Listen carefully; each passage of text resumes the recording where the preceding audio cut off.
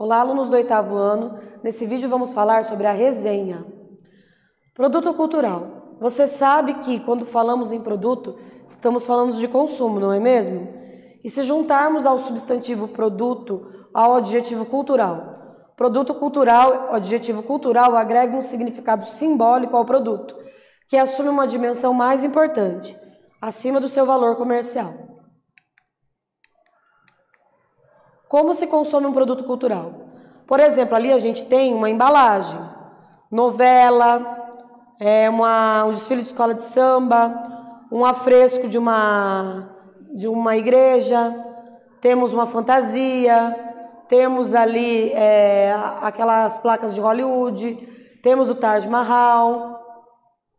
A resenha é um texto cujo objetivo é apresentar informações e críticas para orientar o leitor ou espectador em suas escolhas em relação a algum produto cultural.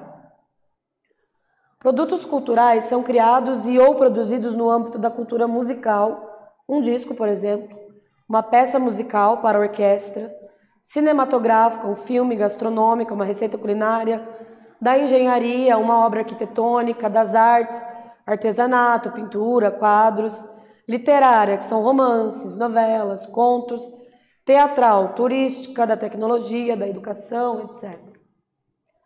Resenha crítica.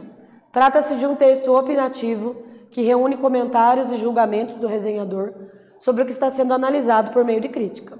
O resenhador expressa sua opinião além de informar o leitor sobre a, obra resenhada, que pode ser um show musical, capítulo de livro, artigo, filme, peça de teatro, entre tantos outros.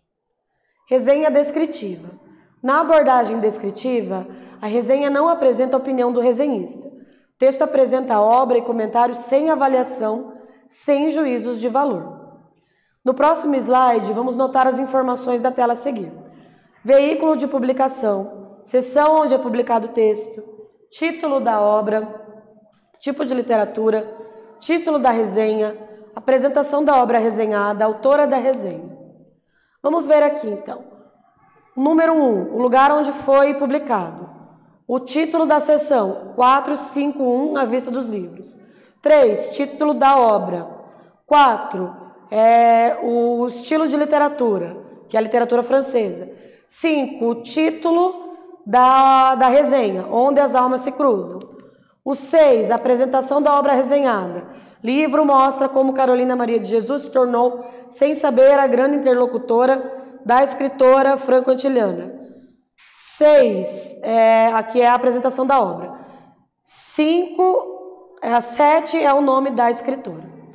Tanto a resenha crítica quanto a resenha descritiva, o resenhista não deve esquecer dos seguintes elementos: título, identificação, editora, local, número de páginas e preço de vendas.